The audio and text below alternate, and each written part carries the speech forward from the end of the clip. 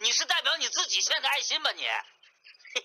你说什么？你再给我说一遍。哎呀，都看出来了，你要对你说的话负责任。哎呀，我负责任就负责任，怎么着呀？你别在我家院子里吵，吵什么呢？我在看书呢。一人，带弟弟回屋去。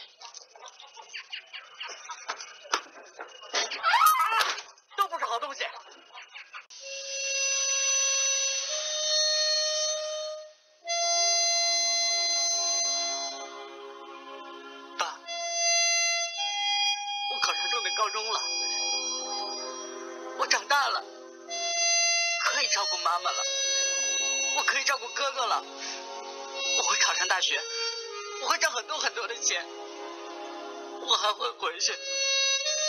我会带着哥哥，带着妈妈，一起住回那儿。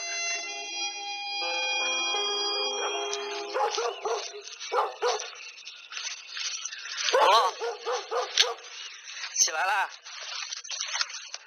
龙龙，上了高中之后，可就跟以前不一样了，不能再像以前似的，要和同学好好相处。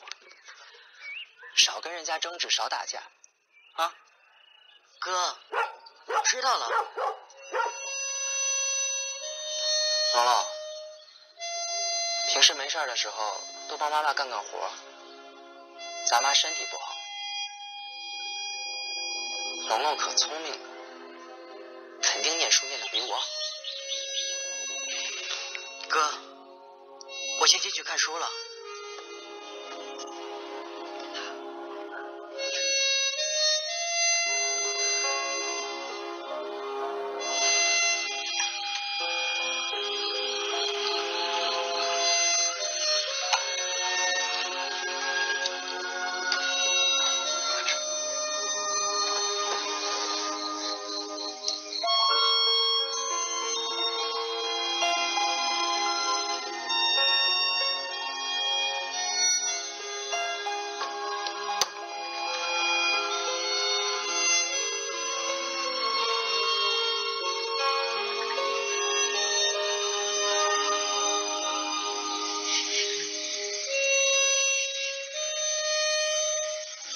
回到老宅不久，忠厚老实的哥哥就这样一声不吭离开了家。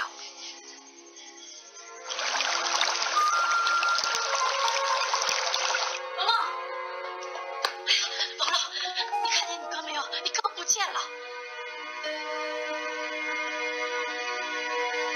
妈，别急，等吃完一起去找。这能不急吗？我这四处找都没看见人。这天没亮的时候，我是听见这门响了。哎呀，这当时要起来看看就好了。龙龙，平时没事的时候多帮妈妈干干活，咱妈身体不好。